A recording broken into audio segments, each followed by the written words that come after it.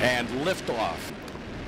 The idea of big data and telemetry applies especially to Orion. There's the potential for literally millions of measurements.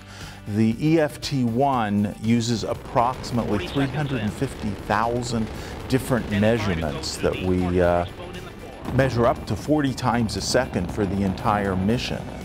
All of that data needs to be brought down, ingested, understood, and analyzed. One of the things that would be very exciting to do is be able to recognize, you know, with the behavior we're seeing, this component or that component appears to be on a path to failure.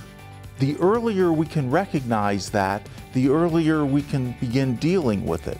That same kind of technology is being looked at in next year's research and development for applying within the Mach 5 environment that will let us have our spacecraft be able to tell us how they're behaving, be able to learn from that, and be able to apply that to understanding when something needs to be replaced, when something needs to be repaired or adjusted.